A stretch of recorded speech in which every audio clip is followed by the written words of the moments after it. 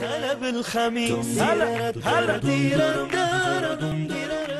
كنا معكم مشاهدينا في نقل مباشر لمهرجان الملك عبد العزيز للإبل أما الآن موعدكم وموعدنا كلنا مع الدكتور محمد خان اللي راح يفضفض لنا اليوم عن شخصية أطباء موجودين بيننا من هم هؤلاء الأطباء راح نتعرف عليهم في هذا التقرير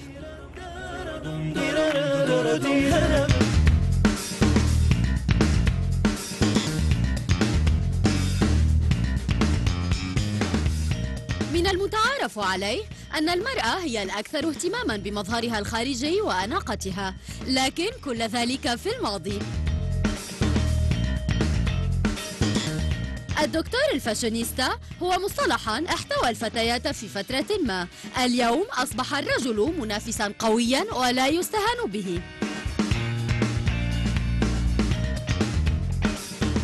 السفر المظهر والحياة اليومية أصبحت كل ما يهمهم بالرغم من أن طبيعة عملهم تختلف تماما عما يقومون به هل أشغلتهم اهتماماتهم عن وظيفتهم والرسالة السامية التي تحملها؟ ولكن يظل تساؤلنا عن ماهية حقيقة الدكتور الفاشونيستا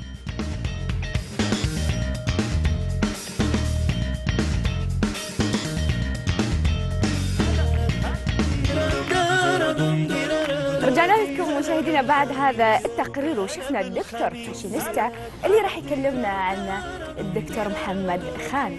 مساء الخير يا دكتور. مساء النور يا مروة. هلا بك. أهلا بيكي. الحلقة الحين اليوم لابس لك scarf أنا صاير. فاشينيستا كمان. ما شاء الله تبارك الله. يعني أنا من شفتك لابس scarf قلت اليوم نستعد جلد علشان. موضوعنا. آمري. آه خلينا نتكلم دكتور منك ناخذ تعريف مفصل عن الدكتور الفاشونيستا هو مصطلح دكتور فاشينيستا هو عبارة عن يعني نوع من النكتة.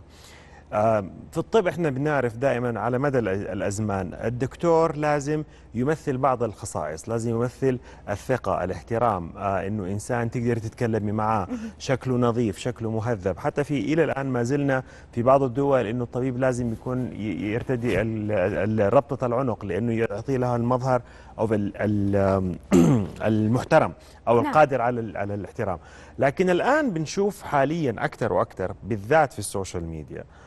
الموضوع هذا شكل المظهر الخارجي للدكتور خرج عن الإطارات اللي متعارف عليها من الاحترام والثقة وإنه شكله مهذب ونظيف إلى أمور أخرى أكثر. صرنا نشوف الدكتور اللي فيه حاطط مكياج أو لابس أو حاطط pose أو بيطالع في المراية. يعني أشياء ما هي يعني هي أنا هي حرية شخصية للشخص إذا كان في account حقه الشخصي ولكن لما إحنا بنسوق أو بنعلن عن وظيفة دكتور بنلاقي إنه هذه ال image صارت منتشرة. زي ما حضرتك بينوا في في في, في, التقرير. التقرير. يعني كم دكتور فاشونيستا الحين عندنا في السعودية؟ والله كثير يا مروة. أنت افتح الإنستغرام. كم account في إنستغرام؟ والله كثير دكتور. طيب إذا دكاترة من هنا كثير. الدكاترة في من جميع الأنواع ولكن هذول الفئة من الدكاترة اللي بيو صاروا فترينه لما يبيعوا. فبالتالي كأنك تبغى تشوفي أنف ها شوفي أنفي. كأنك تبغى تشوفي بشرة بشرتي هنا. فهذه الأشياء بنشوفها إحنا الآن أكثر. بالذات يعني كل في مجاله ولكن بنشوفها أنا بشوفها في مجال التجميل صايرة حكاية أكثر. يعني ال lasers حقت البشرة والليزر هير ريموفل وبعض أنواع من المكياج للبشرة صرت أشوفها أنا يعني هي ما جت. على كذا يا دكتور يعني في ناس بعد يسوون آه، آه، شو اسمه هذا البوتوكس الحقن حق اليد؟ طبعا طبعا هذا هذه الأشياء آه، سهله هذه على اليد هانت. آه، ما ما منها مشكلة. ولكن إحنا بنشوف في بعض الأشياء حتى المظهر حتى طريقة التصوير أو طريقة العرض في آه، أدوات التسويق اللي إحنا بنتكلم عليها من انستغرام تويتر فيسبوك بنلاقي ال poses في poseات يعني كأنه واحد in fashion magazine ولا في مجلة ما أعرف يعني ما لها علاقة بالطب. راح الحد الفاصل بين ما هو متقبل للمجتمع في المهنة هذه وبين الشكل المرغوب عموما الناس صارت كلها تسعى إنه يصير شكلي جميل شكلي مرغوب شكلي مثير للجنس الآخر وانتهينا خلينا نحسن النية دكتور خلينا طيب، نحسن النية okay. يعني هو لما مثلا يجي دكتور تجميل يسوي مثلا شفايف أو آه، آه، يسوي ليزر بشرة أو مثلا يسوي كمان ليزر حواجب ربما هذه متطلبات العصر يعني في ما- ما نقدر نقول لا، ما هي عشان متطل- يجذب لا، البنات لا. أو عشان السيدات إنهم يجون يسوون عنده تجميل ما أو ندري، ما يكون ندخل في نوايا الناس. يعني. لا ما ندخل في في نوايا الناس ولكن في أشياء طبيعية. واحد يبيض أسنانه أسنانه تكون نظيفة بشرته تكون مستحيل تروحي لدكتور جلدية ووجهه كله حبوب ولا تروحين لدكتور تجميل ورجوله كلها مقشرة ولابس شبشب. يعني ما, ما في أمور ما منطقية ولكن الأمور لما تتعدى عن الحد زي ما بنشوفها الآن يعني كمثال يعني واحد بيحقن إبرة في وجه في فيلم سناب شات فأنت بتوري الحقن. طب ما له داعي العضلات يعني سادة الكاميرا يعني؟ عارفة هذا شيء وهذا شيء أنت بتسوق للعضلات ولا بتسوق للموضوع اللي بتحقنه؟ فهذا اللي بنشوفه إحنا الآن. الحكاية صارت خارج إطار ال- ال- ال- التوصيل المعلومة إلى تسويق أمور ربما موازية. يعني هي حالة نفسية درسوا حالة السيدات يمكن لقوا إنه آه الدكتور اللي مسوي مثلا تجميل إنه ناجح تجميله ما عندي آه ممكن يتقبلونه أكثر؟ ما على علمي في دراسة هذا إلا الحين إذا كان عندك. أنا ما على علمي في دراسة زي ما سألنا دكتور جوجل قبل كده ما على علمي في دراسة تبين إنه الدكتور اللي مفتول العضلات و... ولفحته الشمس آه، يكون ناجح أكثر في عمله. طب خليني أقول لك شيء. أمس طيب. سألت هالسؤال على تويتر وشوف إيش ردوا السيدات وشوف إيش ردوا الرجال. السيدات وفاء صالح وترحال وسحر قالوا إيوه بعضهم يعتمد على شكله عشان يجذب الجنس الآخر وبالتالي يصدقونه.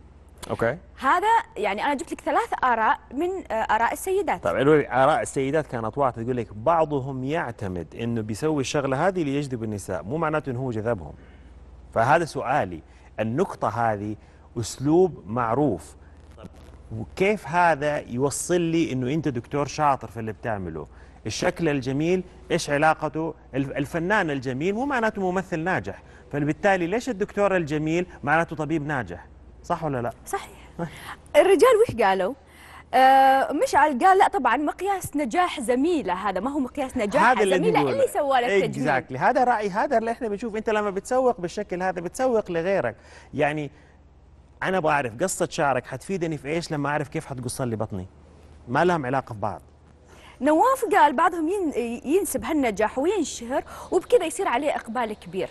يعني هم فاهمين اللعبة يعني بعض الرجال فاهمين اللعبة. بالضبط إحنا وصلنا في مرحلة يا مروة إنه كل جديد ومختلف يجذب الانتباه وبالتالي يصير الإنسان مسلط عليه الضوء فيقدر يبيع اللي يبغاه، أنا أعتقد من هذا المنبر أي شيء جديد بتغير بتقدميه حتى لو بشكل جديد أو لو شكلك ما هو يمثل الوظيفة هذه يجذب إليك انتباه أكثر وبالتالي تصيري عرضة للأضواء وبالتالي يفسر إنه أنت تكوني مشهورة أكثر. سؤالي لك هل الدكتور الفاشونيستا سبب في هدم العلاقات الزوجية؟ راح نجاوبنا أكيد عليه بعد هذا الفاصل دكتور. طيب. خليك معنا. مشاهدينا بعد هالفاصل أكيد راح نتابع دكتور فاشونيستا مع الدكتور محمد خالد نرجع هلا بالخميس هلا بالخميس. هلا هلا.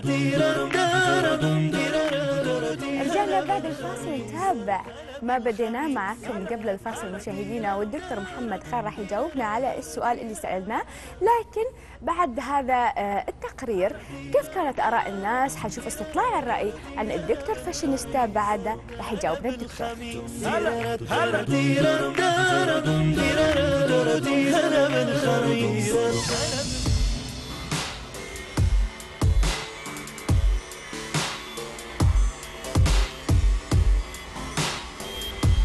أهم شيء إني أتعالج عند أي دكتور بس أهم شيء يكون كويس ودكتور نفسية يعني تكون مرتاح له.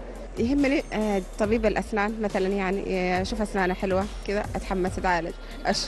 أي أشوفها وسخة أبطل أكيد أكيد مهم أكيد مهم. في بعضهم راعين سوابق أنا ما أتعالج عندهم صراحة. لا تهم النظافة وكذا يعني أكثر من شكل؟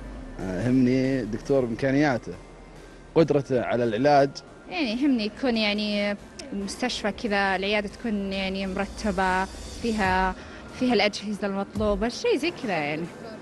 لا عادي عاد الله خلقه يعني. مو مهم شكله أنه زين أو شين بس مهم إني أرتاح له نفسيا. يعني في بعض المرات تدخل عند عيادة الدكتور يا أخي ما ترتاح نفسيا. فتحس إنك ما ودك تكمل وتطلع.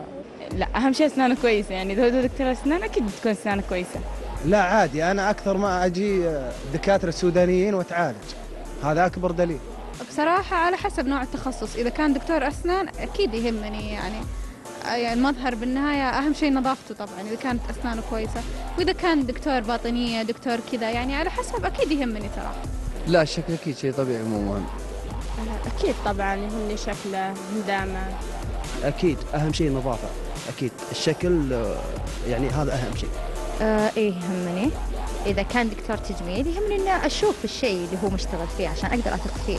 والله بالنسبة للطاقم اللي يعمل في المستشفى دائما يكون من حسن مقابلة الجمهور هو الاعتناء بالمظهر والنظافة.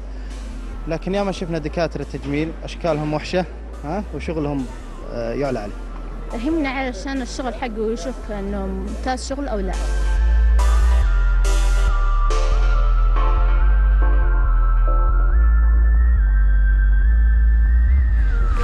هلا بالخميس هلا هلا.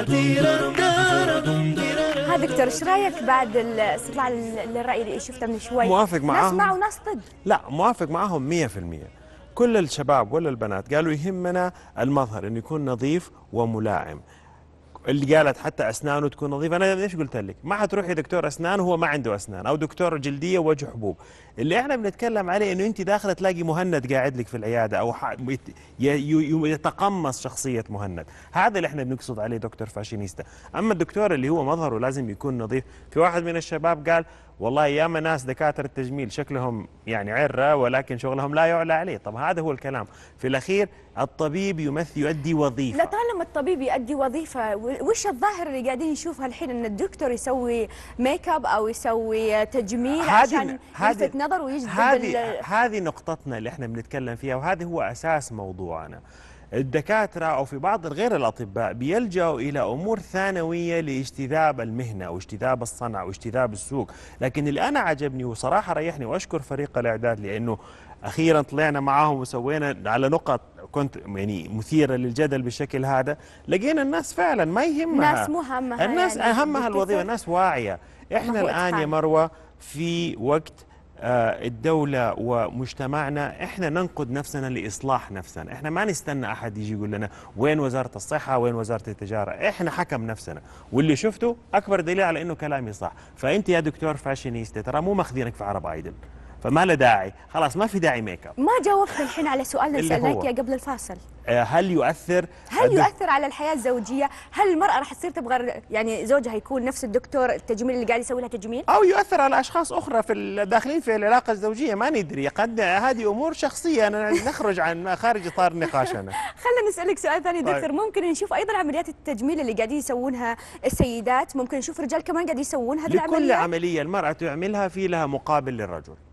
في ممكن عمليات تكبير صدر في عمليات آه، آه، ما تحت السرة يعني هذه كيف راح يسويها الرجل؟ ها عمليات التكبير الصدر في عند في الناس اللي عندهم تثدي بيعملوا شف دهون والناس الرياضيين من ضمنهم بعض الممثلين الأجانب بيحطوا حشوات للصدر على أساس تظهر مظهر العضلات.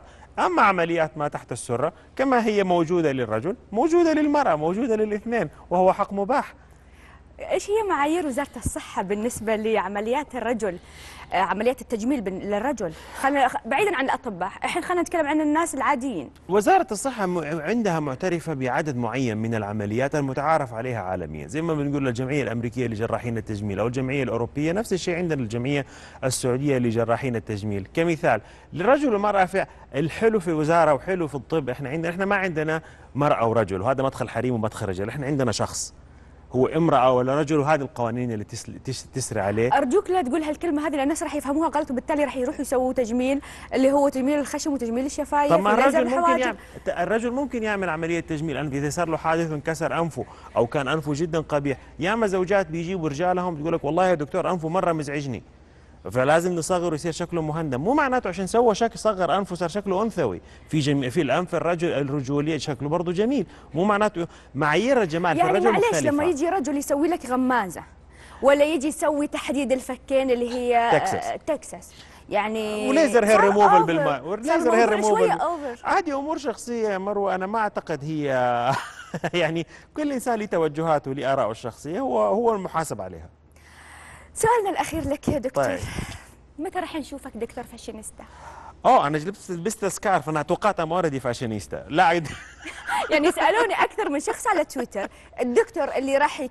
الدكتور محمد اللي راح يكون بكرة ضيفك هل هو مسوي تجميل الحقيقة ما سويت أي عمليات. يسألونك يعني جاوب. الحقيقة ما سويت أي عمليات تجميل. عندي حتى آثار جراحة ومن هنا ما شلتها لأنه عملية التجميل زي ما قلنا في الحلقات السابقة عملية نفسية 100% وهذا شيء ما أثر علي نفسيا. يعني ما سويت بوتوكس ما سويت آه، سويت مرة لا لا لا سويت بوتوكس. كنا بنعلم مجموعة من الأطباء المقيمين فكان لازم يحتاجوا أحد فسووه فيا فلقيت قعدت مع حاجب مختلف لمدة ثلاثة شهور. آه ميزوثيرابي ما سويت fractional laser جربت. في بعض الأحيان الإنسان لازم يجرب الشغلة على نفسه قبل ما يعرضها على الناس ولكن مو معناته إيه في يوم من الأيام قد يصير إذا كان هذا الشيء أنا يعني ممكن نشوفك مستقبلا تمشي مع الموضة أول وتصير دكتور فاشينيستا أكيد يا مروة أول ما يقبلوني في عرب آيدل أكيد حسوي كل العمليات هذه وأروح. شكرا لك دكتور يعطيك ألف عافية اليوم الله نورتنا. يعافيك شكرا شكرا في مروة. فضفضة مع محمد خان يعطيك الله يخليك مروة شكرا.